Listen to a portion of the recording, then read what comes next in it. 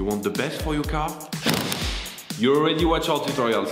So the best place for the best deal is to buy from the Mr. Auto app. Easy, fast, and with better prices than on the website.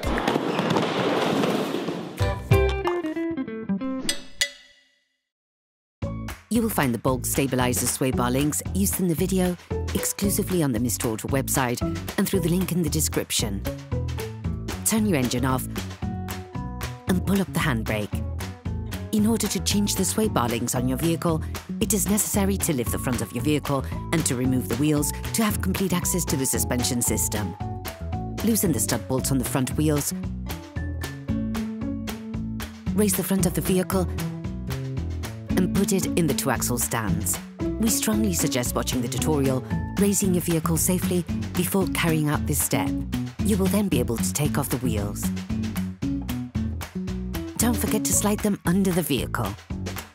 The sway bar links connote the sway bar to the control arms on the shock absorbers to always keep the wheels firmly on the ground. These elements can often get jammed, so use a penetrating oil to facilitate the operation. In order to get full access to the sway bar links, you have to separate the control arm from the steering knuckle. To do this, we recommend watching the video How to Replace the Control Arms Peugeot 107. On this vehicle, the sway bar link is directly attached to the control arm. Using a 10mm spanner, a socket wrench and a 12mm socket, unscrew the sway bar link. Then, lever it off using a crowbar between the sway bar link and the control arm to remove the link.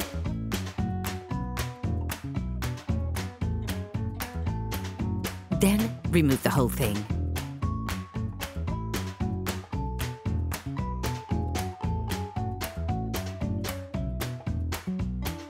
Hello, if this video helped you, like and subscribe. Take the new stabilizer bar link. You will find the bulk parts and products used in the video on the Mr. Auto site and in the link in the description.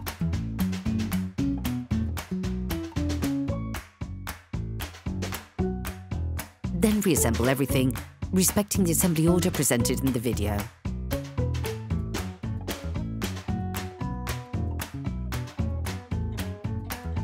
Above the sway bar, screw, bearing with base directed downwards, silent block. Between the sway bar and the control arm, silent block, bearing with base directed upwards.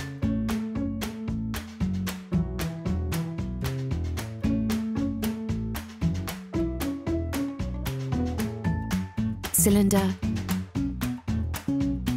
bearing with base directed downwards, silent block. Below the control arm, bearing directed upwards,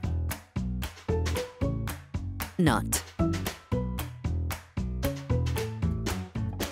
Once assembled, screw everything back in without being excessive to not crush the silent blocks. You can now put the control arm back in place and screw it in. Then you will be able to put the wheels back on your vehicle, putting it back on the ground before properly fixing them in place.